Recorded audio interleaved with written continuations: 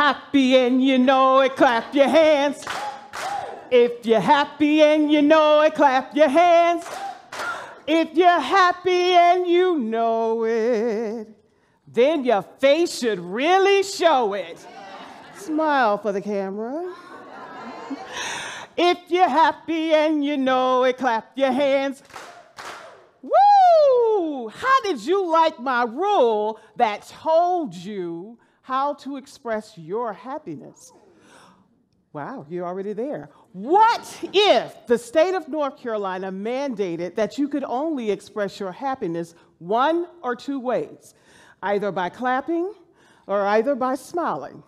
And if you didn't comply, you would get a nice letter in the mail that states you and your loved ones would have to leave the state and relocate to another location in this great America of ours because you did not fit into the North Carolina way of expressing happiness. Now, how does that make you feel? I'm sure some of you are drawing concern, as you should. I mean, this is a country built on freedom of speech, right? And embracing our unique self. This could lead to a protest. So let me change that. Let me remove the rule. And this time, when I say, if you're happy and you know it, I want you to do your thing, whether that's shouting, singing, turning around, whatever it is. Are you ready? Here we go. If you're happy and you know it, do your thing. Oh, I feel it. So, I have a question. Raise your hand if we express happiness differently. We did. So, here's another question Did we accomplish the goal of expressing happiness? Yes, we did. So, too, is the same philosophy in our educational system. We all agree that all students can learn. Am I correct?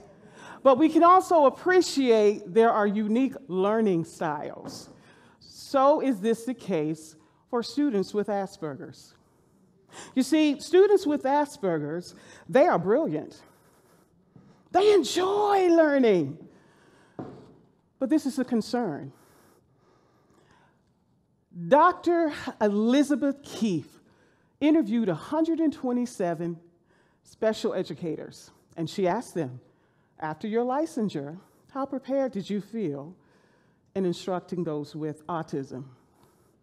77% said, I feel unprepared. Let's go to the classroom. In Educational Weekly, less than one in five teachers feel very prepared in instructing those with autism. So, too, is the call for this presentation. We all understand relationships are needed in order to achieve academic success. And that requires getting to know our students as to their needs. So I'm here tonight just to give an appetizer, not the whole meal. I like to give you just enough that you will leave hungry, that you will seek out more. So, I will inform you about Asperger's and then follow with some of the challenges that they face that impact their achievement in class. And then I will share the solution. Y'all ready to be introduced to Asperger's? Well, let me respect the culture. Let me not introduce, let me let them introduce themselves.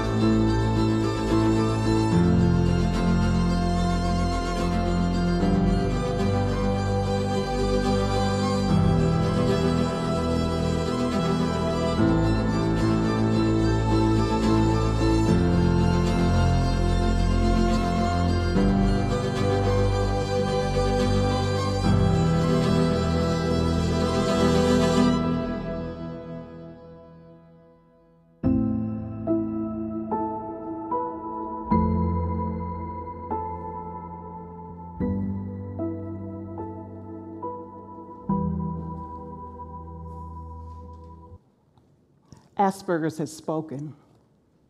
Are you listening? So, now what is Asperger's? According to the Neurological Institute of Mental Health, it is a subcategory of autism. And autism itself is a neurological and developmental disorder. By neurological, we're referring to how the brain works and is organized concerning social interaction, concerning communication, and concerning learning and behavior. When we're referring to development, we are introduced to these symptoms at an early age by age two. I'm born with this.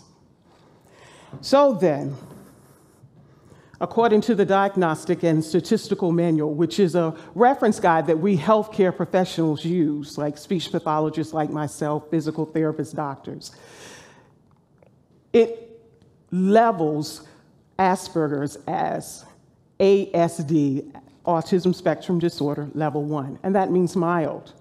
So then, what does mild mean? Mild means that I have a sprinkle of the features of autism, but yet I also have commonalities with those who do not. That is why it is so hard to tell or notice this in class until we come upon the differences.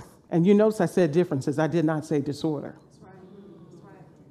So let's get into that.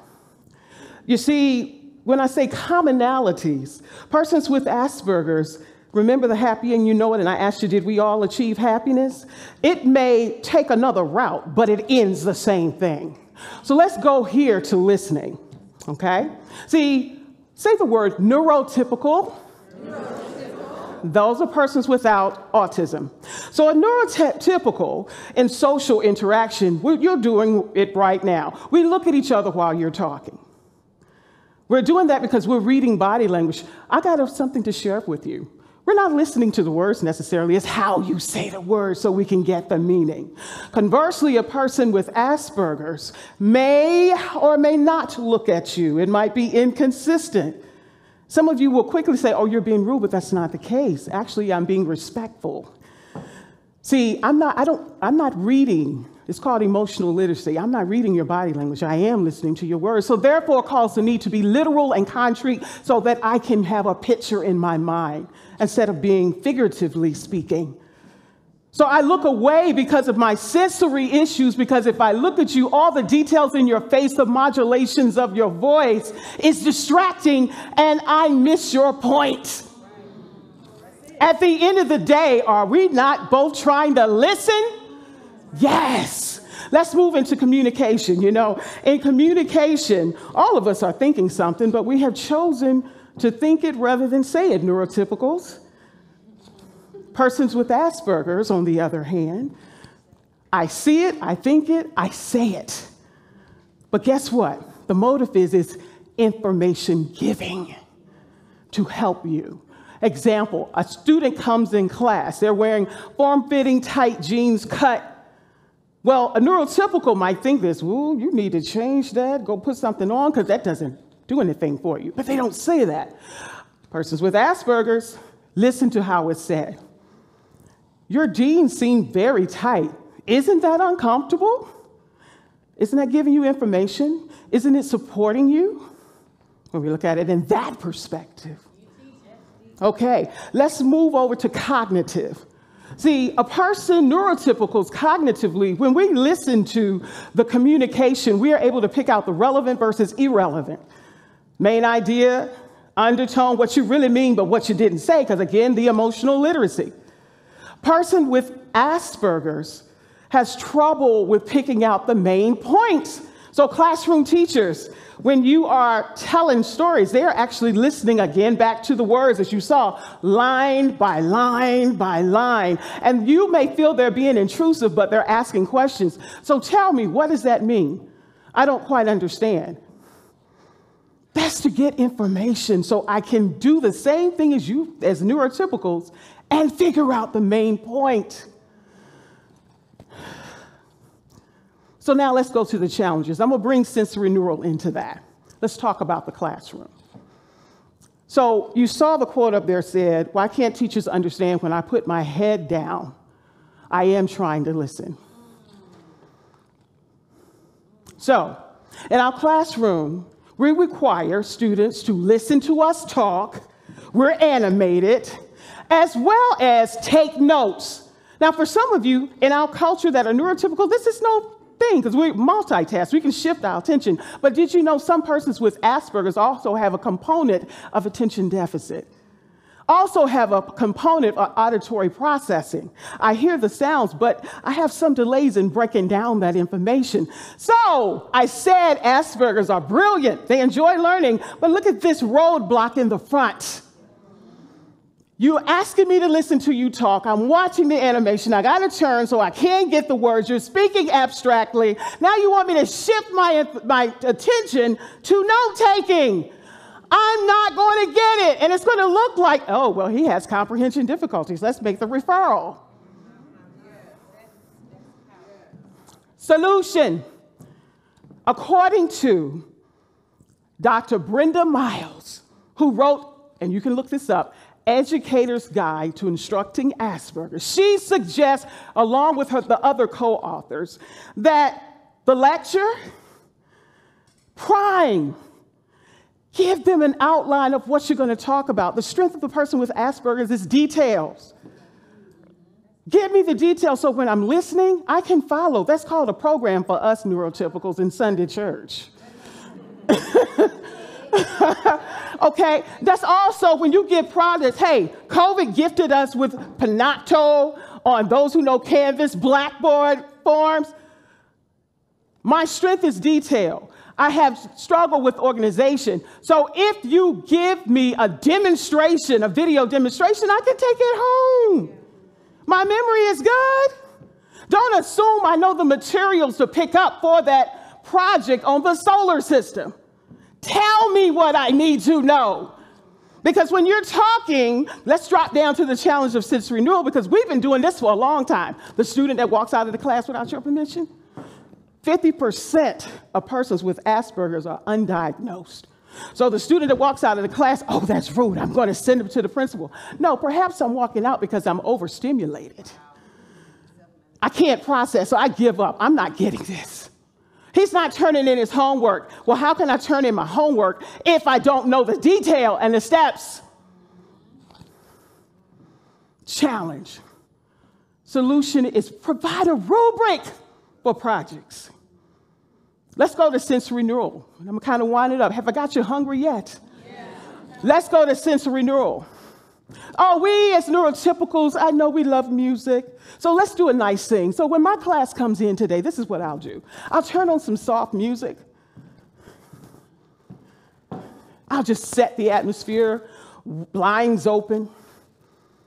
To a person with Asperger's who's overstimulated by what I see, what I hear, that's not calming, it creates anxiety. I'm walking into noise. It's like us being at a concert and closing a room with loud music. It's like a person with cold hands touching you on your arms, and woo, we retreat. So, in common with them, we have sensory neural issues too. Adjustment. Instead of turning on all three lights in the classroom, how about one row? Just enough light for everybody to see. Instead of lifting all the blinds, how about two down, one up, so we can accommodate? Instead of have the TV in self-contained rooms on, turn it off. Then you might not see the meltdown. Ah! Ah! Ah! You might not see that. So, you say seeing is believing? Some of you may say, well, that sounds good, but how about those that are more severe? You remember relationships? When you get to know the needs of your students and you adjust the environment and the environment responds? Far from the tree. Okay, let me give you a few minutes just to type that. Go to your keyboard.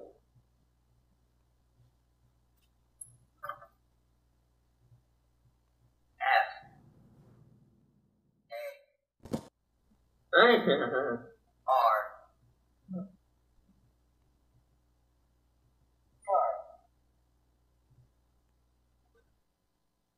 When I got to know this student that yes, I can by, I may not do it myself, but this is how I do it because of his own uncomfort with touching the screen. What does it matter? It's feedback. Why, we why do we have IEPs and we're forcing our students to be a neurotypical? Why do I have to fit in? So, two, I'm going to wrap this up. All these things that I have shared.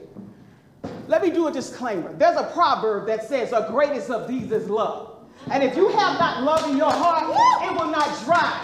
It will not desire, to drive the desire to be patient, to persevere, to have the kindness that's needed to drive this.